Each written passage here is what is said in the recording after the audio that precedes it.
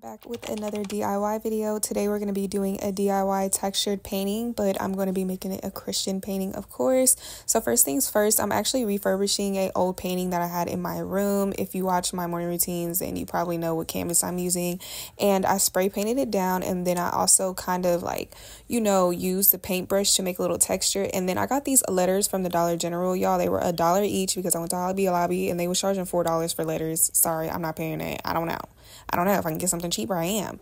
After my letters dried and the canvas, which actually dried in like 20 minutes using the spray paint, I went ahead and glued them and put them on my canvas. I did not have enough space for all my letters, so I had to improvise and I decided to do God and love because God is love. And then I used some baking soda and some white paint that had glitter in it to make the texture on the letters and the canvas. After I did that, I just touched it up a little bit and this is how it came out. Really loved the results and the minimalism of it and I went ahead and put it on my wall